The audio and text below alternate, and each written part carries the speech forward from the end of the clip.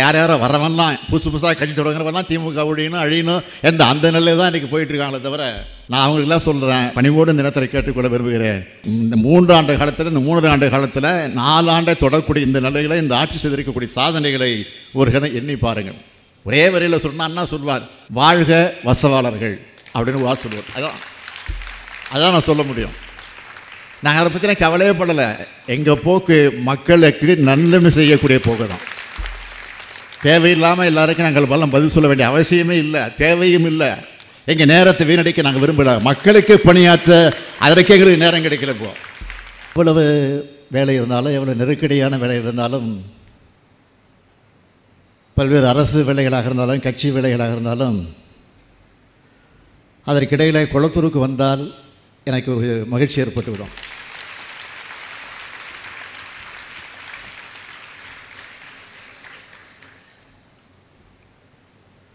அதிலும் குளத்தூருக்கு மட்டும் இல்லை அனிதா அச்சியஸ் அகாடமியுடைய நிகழ்ச்சி என்று சொன்னால் அதை விட அதிகமான உற்சாகம் எனக்கு வந்துடும் ஆக இந்த அனிதா அச்சியஸ் அகாடமியில் படிக்கக்கூடிய மாணவர்கள் அந்த மாணவர்களை எல்லாம் மாணவிகளெல்லாம் பார்க்குறப்போ எனக்கு தானாக ஒரு உத்வேகம் உத்வேகம் வந்துடும்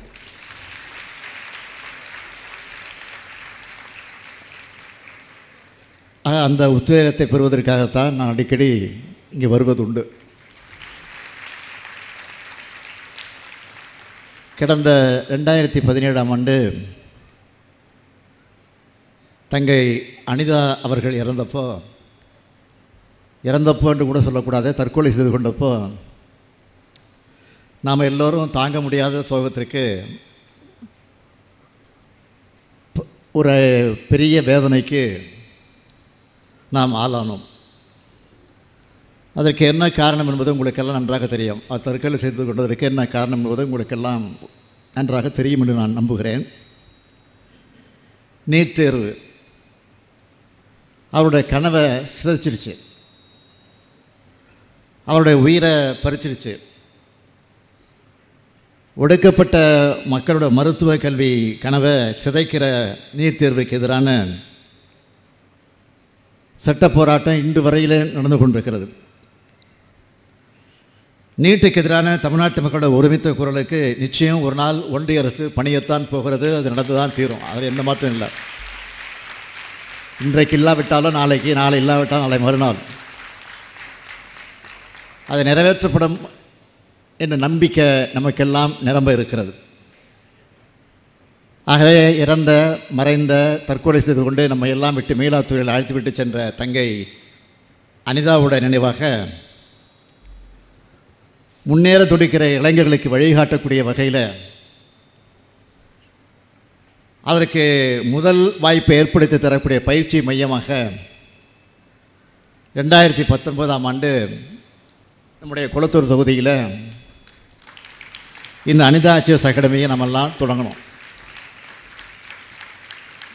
இந்த அகாடமி பயிற்சியோடு கூடிய இலவச வேலைவாய்ப்பு மையமாக செயல்பட தொடங்குச்சு. இங்கே இது வரைக்கும் பன்னிரெண்டு பேட்சில் தொள்ளாயிரத்தி எழுபத்தி நாலு பெண்களும் எட்டு பேட்சில் ஐநூற்றி முப்பத்தெட்டு ஆண்களும்னு இது வரைக்கும் ஆயிரத்தி ஐநூற்றி பன்னெண்டு பேர் டேலி பயிற்சி முடித்து இலவச லேப்டாப் பெற்றிருக்காங்க.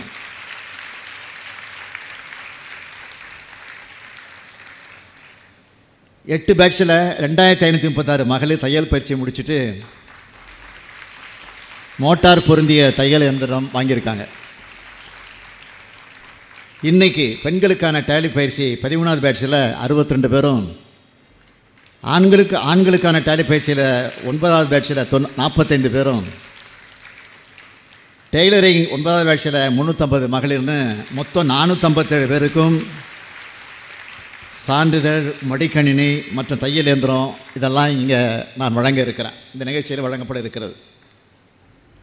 சாதாரண பின்புலங்களில் இருந்து வரக்கூடிய மாணவர்களுக்கு இந்த அனிதா அச்சிவஸ் அகாடமி அதற்குரிய வாய்ப்பை இன்றைக்கி உருவாக்கி தந்து கொண்டிருக்கிறது. அதனால தான் அடுத்தடுத்த பேட்சிக்கான மாணவர்களும் ஆர்வத்தோடு வந்து சேர்றாங்க. இதனால் அவங்க குடும்பங்களும் பயனடையுது. அனிதா அச்சூஸ் அகாடமி எப்படி ஏழை எளிய மக்களுக்கு பயனுள்ளதாக இருக்கோ அதே மாதிரி ஏழை எளிய மக்களுக்கு கண் சிகிச்சை அளிக்க கலைஞர் நூற்றாண்டு கண் மருத்துவமனையை கடந்த ஆண்டு அக்டோபர் மாதம் தொடங்கணும். கடந்த ஓராண்டு காலத்தில் இந்த மருத்துவமனையில் ஏழாயிரத்தி பன்னெண்டு பேர் கண் மருத்துவனை கண் பரிசோதனை மேற்கொண்டு இருக்காங்க. இன்றைக்கி ரெண்டாயிரத்தி நானூற்றி தொண்ணூற்றி மூணு பேருக்கு கண்ணாடி வழங்க போகிறோம் இப்படி தொடர்ந்து குளத்து தொகுதி மக்கள் பயன்படக்கூடிய வகையில் குளத்துறை முன்னேற்றமும் ஏராளமான திட்டங்களை நாம் செயல்படுத்திக்கிட்டு இருக்கோம் இன்னும் சொல்லணும்னா இந்த நிகழ்ச்சிக்கு வர்றதுக்கு முன்னாடி ஜெகநாதன் சாலையில் நம்முடைய தொகுதியில் இருக்கக்கூடிய ஜெகநாதன் சாலையில் ரெண்டு கோடிய எண்பத்தஞ்சு லட்சம் ரூபாய் மதிப்பீட்டில் முதல்வர் படைப்பகத்தை திறந்து வச்சுட்டு தான் நான் வந்திருக்கிறேன். இந்த முதல்வர் முதல்வர் படைப்பகத்தில் போட்டித் தேர்வுக்கு தயாராகக்கூடிய மாணவர்களுக்கான கற்றல் மையமும் பணிபுரியவருக்கு பகிர்ந்த பணியிடமும் அமைக்கப்பட்டிருக்கு. இதையெல்லாம் மாணவர்கள் பயன்படுத்தி கொள்ள வேண்டும். தங்களுடைய லட்சியத்தை தங்களுடைய இலக்கை அடைய வேண்டும் என்று நான் கேட்டுக்கொள்கிறேன். இப்படி ஒவ்வொரு திட்டங்களையும் பார்த்து பார்த்து இந்த திராவிட மாடல் அரசு செயல்படுத்தி கொண்டிருக்கிறது என்பது உங்களுக்கெல்லாம் நன்றாக தெரியும். நான் முதல்வன் புதுமை பெண் தமிழ் புதல்வன். இது போன்ற திட்டங்கள் மூலமாக ஏராளமான இளைஞர்களும் இளம்பெண்களும் பயனடைஞ்சுக்கிட்டு இருக்கிறாங்க. தமிழ்நாட்டு இளைஞர்களை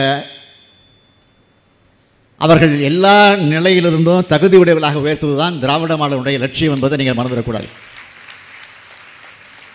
ஆனால் இன்றைக்கி இந்த ஆட்சி எதுவும் செய்யலை. அப்படின்னு குறை சொல்லிக்கிட்டு இருக்கிறாங்க. அவங்க இதெல்லாம் பார்க்கணும். அது யாராக இருந்தாலும் எந்த கட்சியாக இருந்தாலும் சரி. இன்றைக்கி திராவிட முன்னேற்ற கழகத்தை பொறுத்த வரைக்கும் ஆட்சிக்கு வந்ததற்கு பிறகு இந்த மூன்றரை மூணரை ஆண்டு காலத்துக்குள்ளே ஏறக்குறைய ஆண்டு காலம் தொடப்போகுது.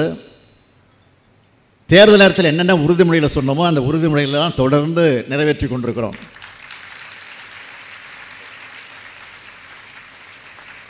மிச்சம் இருக்கக்கூடிய ஒன்று ரெண்டு திட்டங்களை கூட தேர்தல் வாக்குறுதி கூட நிச்சயமாக வரக்கூடிய காலகட்டத்தில் உறுதியாக விரைவாக நிறைவேற்ற போகிறோம் அதில் எந்த மாற்றம் கிடையாது.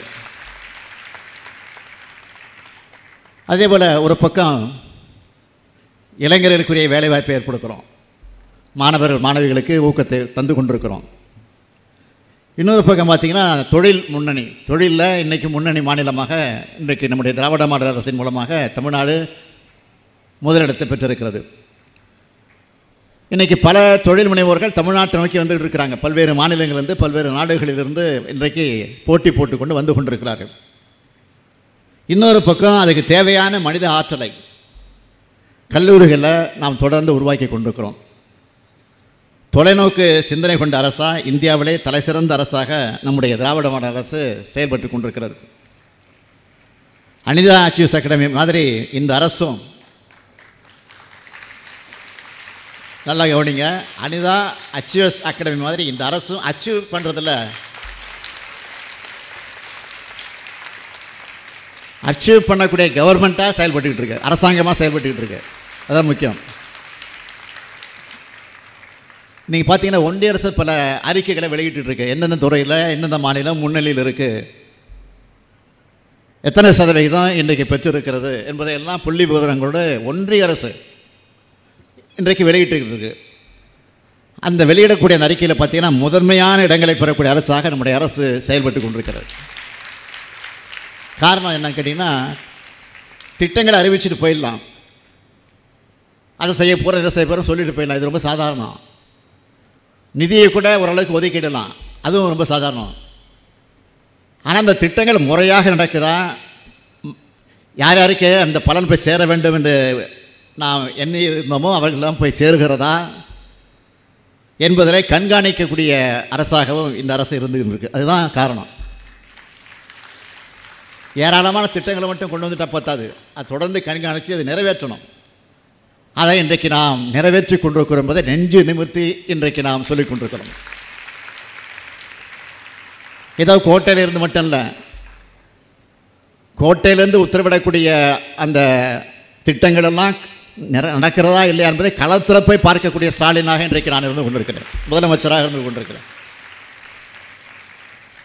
நாளைக்கு கூட கோயம்புத்தூர் போகிறேன் கோவைக்கு போகிறேன் கோவை மாவட்டத்திற்கு போகிறேன் எதுக்காக போகிறேன் அங்கே உருவாக்கப்பட்டிருக்கக்கூடிய திட்டங்களை தொடங்கி வைக்க போகிறேன் புதிய புதிய திட்டங்களுக்கு அடிக்கல் நாட்ட போகிறேன் அது மட்டும் இல்லை இதுவரையில் என்னென்ன பணிகள் நடந்திருக்கிறது என்னென்ன முன்னேற்றத்தில் இருக்கிறது ஆய்வு செய்ய போகிறேன்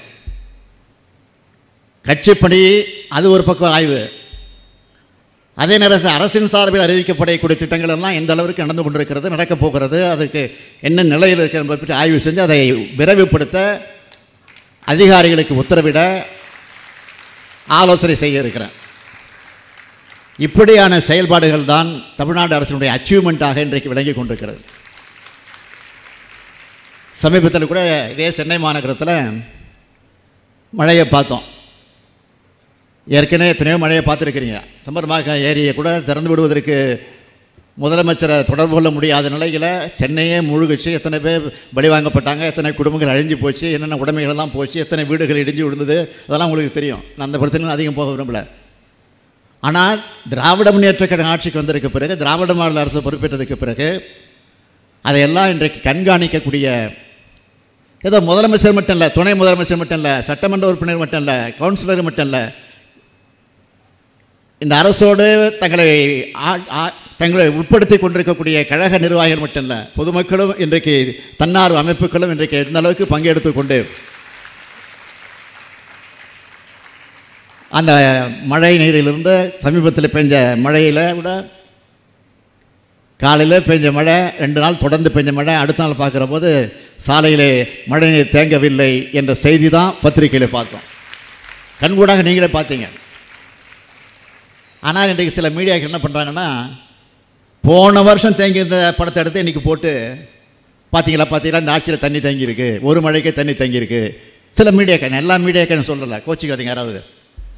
சில மீடியாக்கள் என்னடா திமுக வளர்வது அவங்களுக்கு பிடிக்கல அதான் காரணம். அதனால தான் இன்றைக்கி யார் யாரோ வரவன்லாம் புதுசு புதுசாக கட்சி தொடங்குறவெல்லாம் திமுக ஒழியணும் அழியணும் எந்த அந்த நிலையில் தான் இன்றைக்கி போயிட்டுருக்காங்களே தவிர நான் அவங்களுக்கெல்லாம் சொல்கிறேன் வா அவங்களெல்லாம் நான் பணிவோடு இந்த நேரத்தில் கேட்டுக்கொள்ள விரும்புகிறேன்.